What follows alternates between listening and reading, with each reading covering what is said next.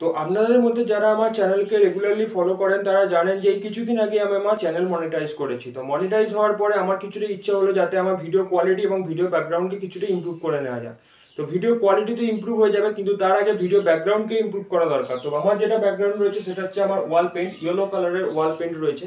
তো আমি এই ইয়েলো কালারের ওয়াল পেন্টটাকে এক্ষুনি চেঞ্জ করতে চাই না, এক্ষুনি অন্য কোনো ওয়াল পেন্ট লাগাতে চাই না। তো সেই কারণে আমি অনলাইন থেকে এই ওয়াল স্টিকারটাকে পারচেস করে এনেছি। তো আপনারা যদি চান ডিসক্রিপশন বক্সে লিঙ্ক পেয়ে যাবেন। সেখান থেকে গিয়ে এই- ওয়াল স্টিকারটাকে চেক আউট করতে পারেন। তো এই ওয়াল স্টিকারটাকে আমি আমার ভিডিও ব্যাকগ্রাউন্ডে লাগাবো এক্ষুনি। তো আপনাদের টিউটোরিয়াল দিয়ে দেবো যে কীভাবে লাগাতে হয়। তো সেইটা নিয়ে আজকে আমার এই টপিক চলুন আর বেশি সময় নষ্ট না করে ওয়াল স্টিকারটাকে ওয়ালে লাগানো যাক এবং দেখা যাক যে ভিডিও ব্যাকগ্রাউন্ডটা কীরকম টাইপের হয়। চলুন দেখে নেওয়া যায় ফার্স্ট অফ অল আগে আপনাকে, আপনার যে রোলটা রয়েছে, সেই রোলটাকে ওপেন করে নিতে হবে এবং ওপেন করে নেওয়ার পরে যতটা আপনার যতটা ভিডিও ব্যাকগ্রাউন্ড থাকবে, সেই ওয়াইজ আপনাকে এটাকে মাপ করে কেটে নিতে হবে। তো যেমন দেখুন, আমার যদি এতটা থাকে, তাহলে আমার এই জায়গা থেকে আমার কাটলে, এই অনুযায়ী, এই সাইজে যদি আমি কাটি, এতটা লেন্থ আছে, এই লেন্থ ওয়াইজ আমার পুরো ব্যাকগ্রাউন্ডটা চলে আসবে। তো এরকম আপনাকে আগে দেখে নিতে হবে যে কীরকমভাবে আপনার ব্যাকগ্রাউন্ডটা আসবে। তো সেই অনুযায়ী আপনাকে মাপ করতে হবে এবং মাপ করে আপনাকে কেটে নিতে হবে। তো এখানে আপনারা দেখতেই পাচ্ছেন যে এখানে আমি আমার যে প্রত্যেকটি যে কাগজগুলি ছিল, যতটা রোল ছিল, আমি সেই অনুযায়ী চারটে, আমার চারটে টুকরো হয়েছে আমার যে ব্যাকগ্রাউন্ডের সাইজ হিসেবে। আপনারা দেখতেই পাচ্ছেন এখানে আমি কাট আউট করে রেখেছি অলরেডি তো এখানে আমার চারটে কাট আউট হয়েছে। তো এবারে আমি এগুলোকে এই দেওয়ালে আমি সাঁটাবো চলুন দেখে নেওয়া যাক। তো প্রথমেই আমাদের এই যে এই যে স্টিকারটি রয়েছে, স্টিকারের পেছনে একটি কাগজ মারা আছে। তো আমি কাগজটাকে এখান থেকে খোলার চেষ্টা করব। কাগজটা খুব ইজিলি এখান থেকে খুলে চলে আসবে, আপনারা দেখতেই পাচ্ছেন। এই দেখুন, এইভাবে। তো এর পেছন দিকে আঠা লাগানো আছে, আপনাদের এক্সট্রা করে কোনো আঠা লাগানোর কোনো দরকার নেই। আপনারা জাস্ট প্রথমে ওপরের দিকটা একটু খুলে নিই Thank you.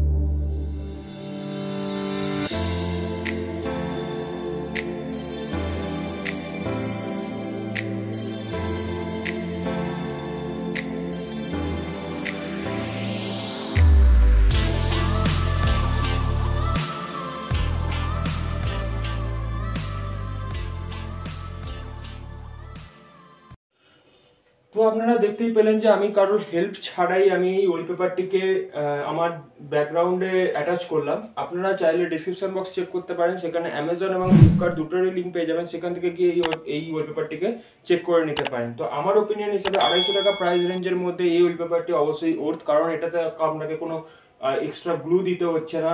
এবং এটা যদি আপনি রিয়েল চোখ দিয়ে দেখেন, তাহলে আপনি থ্রি কিনা বুঝতে পারবেন না। আপনি যদি ক্যামেরা দিয়ে দেখেন, তাহলে আপনি বুঝতে পারবেন যে এটা অবশ্যই থ্রি ডির মতো দেখতে লাগে ক্যামেরাতে তো সেটা আমি মোবাইল ক্যামেরা ইউজ করুন বা ডিএসএলআর ইউজ করুন। আপনি যেটা ইউজ করুন না কেন, আপনাকে এখানে থ্রি ডির মতোই দেখতে লাগে ক্যামেরাতে ডিএসএলআর ইউজ করলে আরও ভালো দেখতে লাগবে। তো যাই হোক দেখতেই পাচ্ছেন আমি পুরো ঘামে ভিজে গেছি এবং খুবই বিধ্বস্ত অবস্থায় আছি। তো যাই হোক, আজকের মতো এইটুকুই। দেখা হচ্ছে আবার next video till then bye bye